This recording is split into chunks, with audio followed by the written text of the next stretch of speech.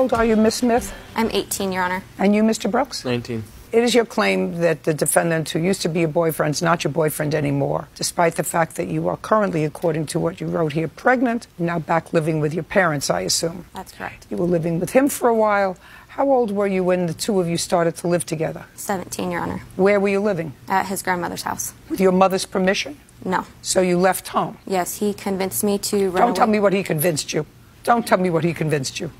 He didn't convince any 17 year old girl anything if she didn't want to go. He doesn't look like any Svengali to me. So you went to live at his grandmother's house with him, and then His grandmother kicked us out, and his and- grandmother kicked you out. Yes. What's the reason for that, Mr. Brooks? Uh, we didn't get along after a while. Who didn't get along? Me, my grandma, we all we were just always constantly fighting. Okay, so after you left your grandmother, where did you go? we got a place with a couple friend of ours, and we were renting a room from them, and that is so a couple had an apartment and they let you rent a room. Now, what were you doing to support yourself during this time? I had a job, and he did not. Tell me what your job was. I was currently working at Bed Bath and Beyond at the time, so I was working at least 25 hours a week, and I was okay, able so to you were working part time at Bed Bath and Beyond. Were you going to school? Yes, I was. And what were you doing? I was selling cars on the side. How many cars did you sell on the side? When we were together, maybe about eight or nine.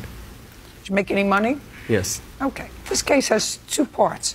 One, you claim that you made a loan to Mr. Brooks. That's correct. Okay. Now I want you to tell me when you made the loan and how much. I made the loan in about October, the end of October, for an Audi for $700. And, And just, just a minute. End of October Mm-hmm. of 2015, you gave him $700. Yes. Where did you get the $700 from? I had received $1,300 for graduating high school in cash, so I had it in cash at the time. Just a second. $1,300 from whom? From family, my grandmother, my parents, aunts, uncles. So they all together they gave you thirteen hundred dollars. Yes. And you gave seven hundred dollars of that to Mr. Brooks to buy a car. Yes. How much was the car? We that was not true.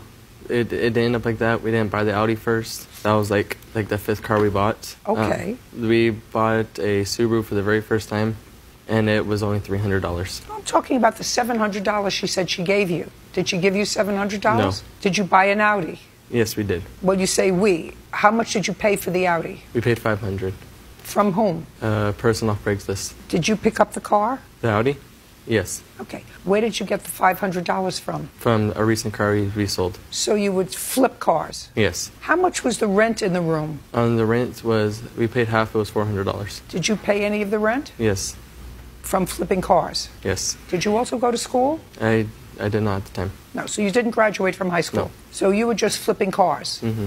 And you certainly weren't paying the $400 a month rent and putting away a lot of money working 25 hours a week at Bed Bath and Beyond. Okay. Now, do you have any proof that you gave him this money, whether it be $500 or $700? Do you have any proof of that? I have acknowledgments through text message and through Facebook of him saying that he knows he owes me the $700. Fine. I'd like to see it.